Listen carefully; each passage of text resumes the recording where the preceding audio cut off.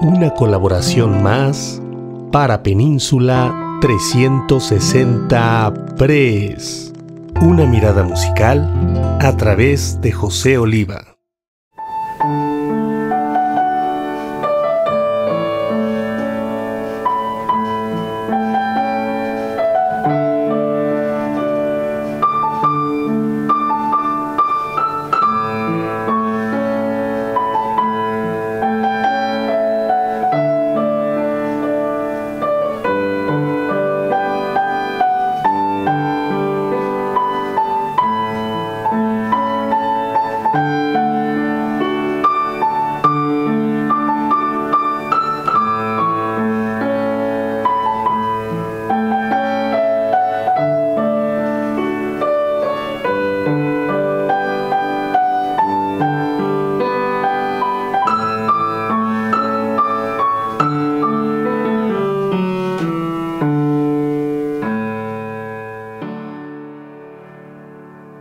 Yo no vine a cumplir expectativas, yo vine a vivir mi vida.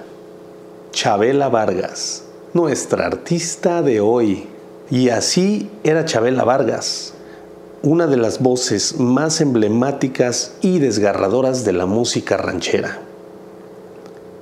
Nació en Costa Rica, pero fue México quien la adoptó como suya, con su poncho rojo, su tequila y su inconfundible voz rasposa rompió todas las reglas de su época. Una mujer cantando rancheras, vestida como hombre, Chabela no solo lo hizo, lo convirtió en arte. Se me acabó la fuerza de la mano izquierda. Cada canción interpretada por Chabela Vargas era un pedazo de su alma que ella dejaba puesto en cada interpretación cantaba al desamor, al dolor y a la libertad.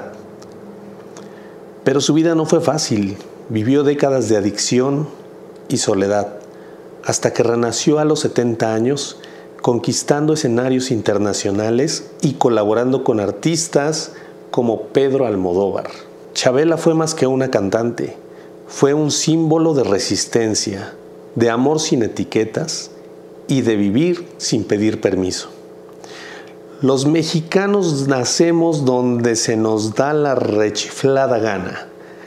Y así, Chabela Vargas se quedó en el corazón de México y del mundo como una leyenda inmortal.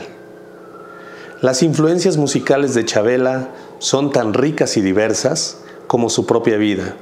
Aunque fue conocida como una figura revolucionaria en la música ranchera, su estilo único se nutrió de varias fuentes música ranchera tradicional, boleros, canciones como La Llorona en la interpretación de Chabela Vargas reflejan estas raíces, llevándolas a un terreno mucho más profundo y emocional, porque así era Chabela Vargas.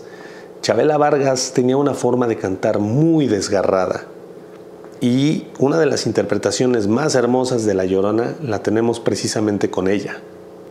Chabela fue una de las principales intérpretes de José Alfredo Jiménez, de quien hablamos hace poco en una de las cápsulas pasadas.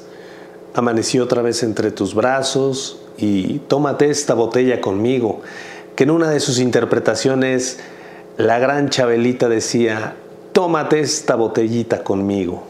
Y en el último trago nos vamos. El ambiente bohemio y artístico en el que se movía influyó en su manera de abordar la música. Se rodeó de grandes personalidades como Frida Kahlo, Diego Rivera y después Pedro Almodóvar. Ellos nutrieron su interpretación con un sentido de rebeldía y honestidad artística. La música de los pueblos indígenas también influyó en su estilo. Chabela integró esa conexión espiritual y ritualista en su interpretación, especialmente, como lo dije hace rato, en canciones como La Llorona. Dejó un legado único, si bien Chabela Vargas tenía influencias claras, es recordada por haber creado un estilo completamente suyo, fusionando las raíces que ya mencionamos musicales anteriormente con su propia personalidad artística y su profundo sentido de libertad. Qué interesante, ¿no?